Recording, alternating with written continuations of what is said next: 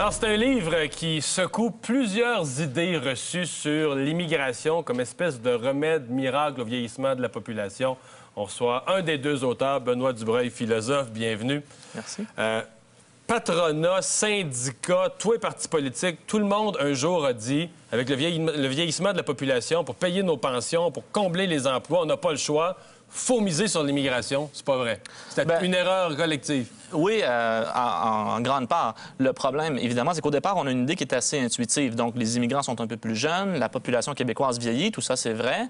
Mais le problème, c'est quand on se met à calculer les choses, on s'aperçoit que l'impact de l'immigration sur la structure par âge de la population est relativement faible. Donc, l'immigration contribue à rajeunir un petit peu, la population, mais pas beaucoup pour faire une grande différence. Donc ça, c'est la, première partie.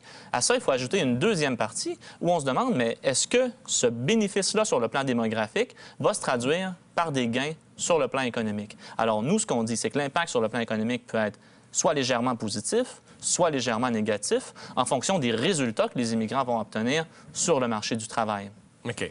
Euh, juste une parenthèse, les deux auteurs, donc toi, tu es philosophe, Oui. l'autre auteur, M. Langlois... Démographe. Démographe. Donc, un spécialiste de la philosophie, des, des chiffres, des mathématiques, de ton côté?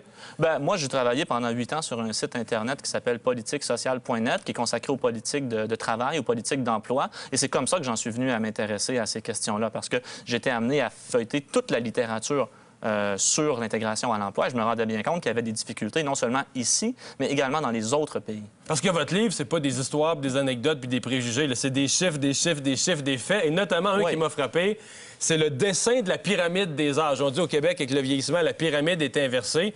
Et vous avez fait un modèle où il n'y aurait pas d'immigration. Ben, on fait, on- en fait, on, fait le- on compare ce à quoi aurait l'air la pyramide des âges au Québec s'il n'y avait pas eu d'immigration au cours des 40 dernières années. Ça n'a rien à voir. On n'est pas en train de dire qu'il n'aurait pas fallu avoir d'immigration. On veut simplement laisser aux gens une impression de quel est l'impact réel. Donc, vous voyez le graphique. On voit que l'immigration contribue un petit peu. Donc, donc, le jaune, c'est la réalité, et la ligne noire, c'est là où serait la réalité s'il n'y avait pas eu d'immigration. Exactement. Donc, on voit que dans la réalité, le Québec est un petit peu plus jeune qu'il ne le serait autrement, mais l'impact n'est pas très important. La pyramide a la même forme inversée. là. Ça renverse pas la pyramide. Non, c'est sûr, mais ça a un petit effet bénéfique. Et là, la vraie question, c'est est-ce que ça peut se transmettre dans l'économie? Et là, on dit faut faire attention parce que comme les résultats des immigrants sur le marché du travail sont relativement Bon, on a- mauvais, euh, On, a des tableaux là-dessus, parce que ça, c'est votre prochaine question, l'impact sur le marché du travail. Donc là, on regarde, dans le fond, on va regarder deux choses. Les revenus que gagnent les immigrants.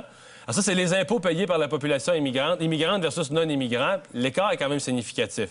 Euh, du côté de l'impôt, ben oui. Puis euh, on voit, en fait, je vais vous raconter l'histoire rapidement, là, mais les immigrants qui sont arrivés dans les années 60 et 70, très rapidement, ils réussissaient à obtenir des revenus qui équivalaient à peu près à ce qu'obtenaient les non-immigrants. Dans les années 60-70, ça allait bien, en 10-15 ans. Mais depuis le début des années 80, on a eu une détérioration progressive. Donc, les années 90, c'était Pourquoi? Parce qu'on reçoit plus de réfugiés, d'immigrants sans Non. diplôme, ou on les accueille moins Non, bien? au on- contraire, on, a- on reçoit plus d'immigrants euh, qui sont plus hautement qualifiés.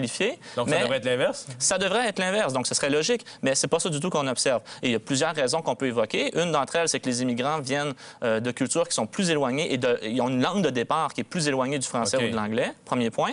Et deuxième point, je pense qu'il est quand même assez central, c'est qu'il y a eu une transformation de l'économie aussi au cours des, des 30 dernières années. Donc c'est le déplacement vers l'économie du savoir, dans dans un monde où, vous le savez, évidemment, vous, vous êtes dans les médias et tout ça, euh, le traitement de l'information, la capacité à analyser de l'information et à communiquer de l'information est devenu absolument centrale aujourd'hui pour évoluer dans un monde professionnel. Et les immigrants, particulièrement ceux qui sont arrivés un peu plus âgés et ceux qui n'ont pas étudié au Canada, sont à un certain... Ont, ils ont un désavantage marqué par rapport aux non-immigrants.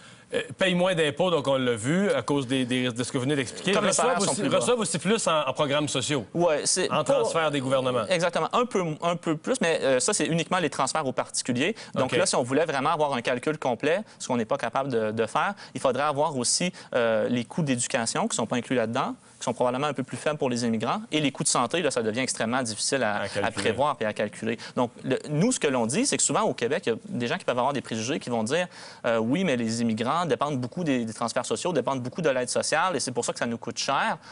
Il C'est pas si vrai, c'est pas, c'est pas à ce point-là. non, non, nous, on dit que vraiment, il faut faire très attention. Donc, s'il y a un impact qui est un peu plus négatif, c'est plus du côté des entrées et du côté de l'impôt qui est payé, venant du fait que les salaires sont plus bas. Mais là, je vais faire très attention parce que vous savez que c'est un sujet qui est extrêmement sensible. Vous le savez mieux que quiconque, en fait. euh, et on veut faire très attention. Si l'impact de l'immigration n'est pas démesurément positif, le corollaire de ça, c'est qu'il ait pas démesurément Pas négatif non plus. Mais Donc, c'est pas. La, conclusion, c'est que c'est pas le remède miracle au vieillissement de la population Absolument. que certains ont espéré. Absolument. Donc, nous, notre message, c'est de dire, ben, c'est pas très judicieux de baser les politiques là-dessus. Et par ailleurs, il y a toutes sortes de considérations qui sont morales, humanitaires, Et autres. euh, et d'être pour ou contre tel ou tel aspect. On va continuer à faire des enfants. Merci, euh, Monsieur Dubreuil. Après la pause, Nadia nous parle des impacts de la technologie dans la classe pour baisser le décrochage.